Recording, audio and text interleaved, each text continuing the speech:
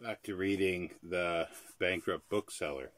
Since they're a little vignettes, like each chapter, I'm hoping that's okay and everybody can follow or look back at the uh, playlist. Uh, this this this eve this evening, it's more about biographies.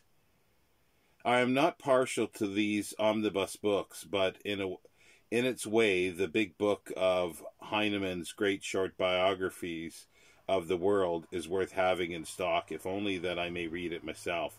I have sold it though, and as I had ordered a second copy which came today, I have been looking through it again. The book has been made by Barrett H. Clark, and by its dedication to Gamaliel Bradford, indicates that it came from the United States. It is printed in Great Britain, but the big idea is the Star Spangled Manner as Beverley Nichols has it at at its best. Clark tells me he will tell the world if you will read it, but I like to think he tells me that the preparation for the book was a delightful adventure. His difficulty was not to make it big, but to keep it small, to give infinite riches in little room. In a way, that's my task as a bookseller to select to discard, to choose, and still be able to offer those who run but also read a collection of books uh, from which they would want to buy at least at least one.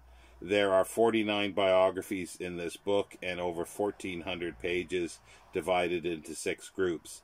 The ancient world, medieval Europe, Renaissance Europe, 17th century Europe, 18th century Europe and 19th century Europe with, with the United States.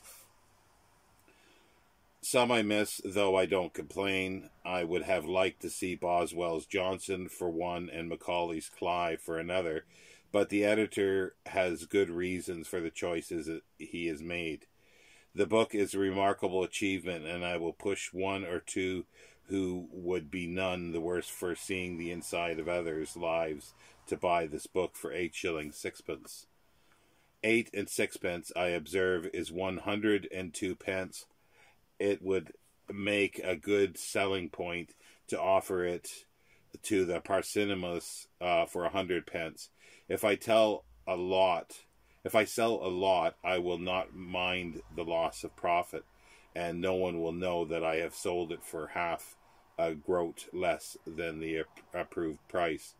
The Louis XIV by Saint Simon is new to me. I didn't know either that Saint Simon uh, was Louis de Rouvier, uh, Duc de Saint Simeon, although I did know that Voltaire's name was Francis Marie Arouet. It's linked up uh, with a couple of books I bought as remainders, which are good value nonetheless. Noel Williams, Pompadour, and Récamier I offer the pair for five shillings.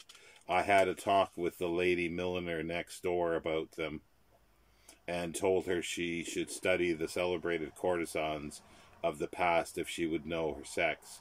She did buy she didn't buy either, and on thinking it over I came to the obvious conclusion that they had not commanded her her interest because as illustrated they neither of them wore hats.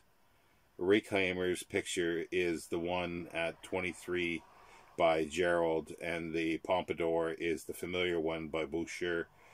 Uh, both lovely, though they did not secure a buyer.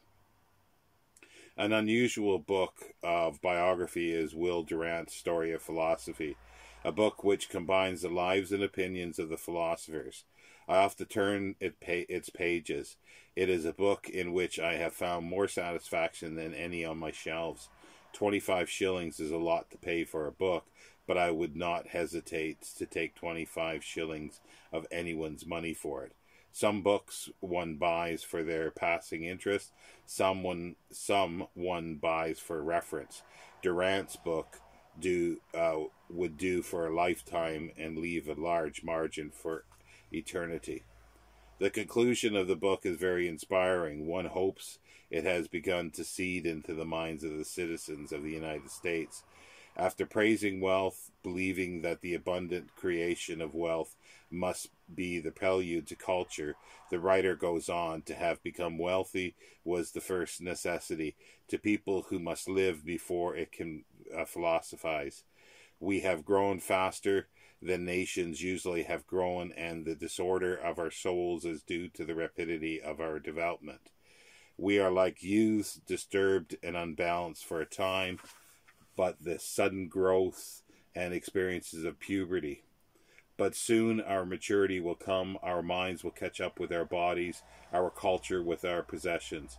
Perhaps there are greater souls than Shakespeare's and greater minds than a Plato's waiting to be born when we have learned to uh, we have learned to reverence liberty as well as wealth, we will we shall have our renaissance.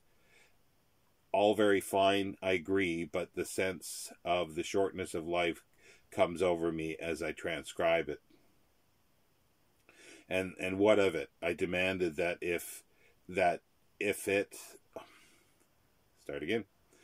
And what of it? I demand, what of it if someone called uh, Butterscamp uh, is born in Walkerville, Ohio, or whatever it may be, one who is nobler in mind than Plato and greater soul than Shakespeare? What do I care for a future in which I can have no lot or part? How can it uh, avail me of man's soars to the uh, Empyrean or sinks to the depths. I cannot avail you. I answer myself, life is only valuable as the personal experience.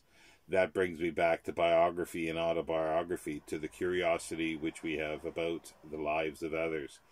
Curiosity about their lives is an echo. It is from Cunninghame Graham's book Success, of which I have a copy on in Duckworth's old greenback library.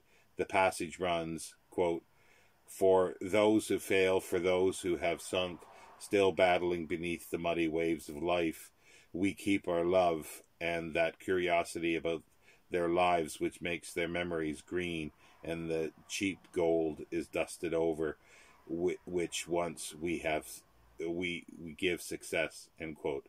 And then quote again how few successful men are interesting. He goes on.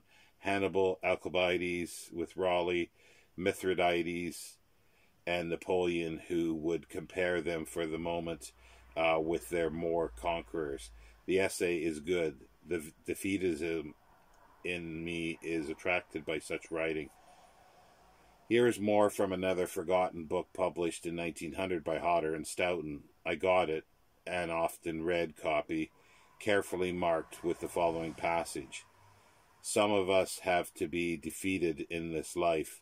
We cannot all draw prizes, but we can remember that w- whatever we may suffer in the buffetings of circumstance, there is still left a wide realm not wholly destitute of beauty, where we may live at least with usefulness and serenity.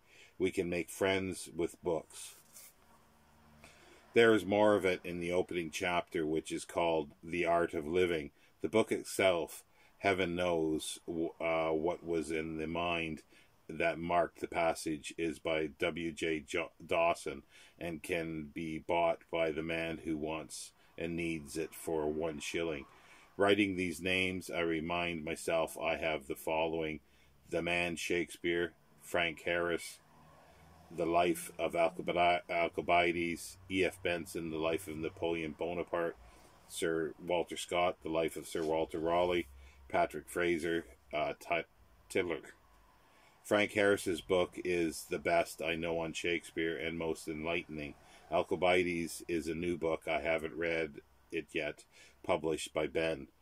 The Bonaparte and Raleigh are old and first uh, undated and the second is Beautiful Little Book, published by Oliver and Boyd, Tweeddale Court, Edinburgh, 1833. They are a nice lot. My stock of biographies is good, I think. Man, what do you want to know? Here are the windows which let you see into other men. What more would you?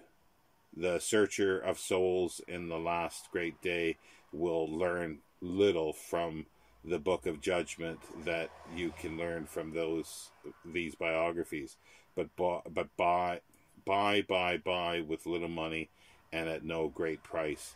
Somebody may write my biography. I would give him, uh, I would have him show me as a pathetic fi- figure. Pathos lasts better in biography than mirth. What comic figures have come down the ages? There is nothing more demonde than last season's jokes. They hardly bear retelling for far less recording. Therefore, Lynn, um, Lynn me as a sad case. Uh, there are always sympathetic hearts, and in such a world, there will be someone who will sigh sympathetically over the sorrows of a simple and not too successful bookseller.